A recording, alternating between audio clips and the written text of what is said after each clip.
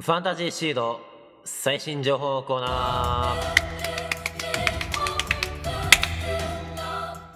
はい、ということで、皆さんどうもお久しぶりです。半年ぶりでございます。ファンタジーシード最新情報のコーナーのお時間でございます。さあ、今回追加した最新情報を紹介していきましょう。えーこれまでね、えーファンタジーシードでは、えーアバター、武器、服、家、クエスト、もう何もかも読み込めるようになりました。これ以上何を読み込めるようにするのかと、えー今回追加したものは、えーこちらです。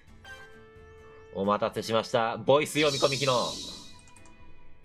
なんと、ファンタジーシードに、オリジナルボイスが読み込めるようになりました。至って簡単。ただただボイスを録音するだけ。フォルダにまとめておくだけでございます。これを機に、あなたもゲームのボイス録音してみませんかということで、実際どうなるのかやってみましょう。今みたいにね、えボイスを読み込みすると、ザザははってな感じで、一旦黙ります、俺。はい。本物の俺黙ります。とへへとせやくらえせやへはあいけ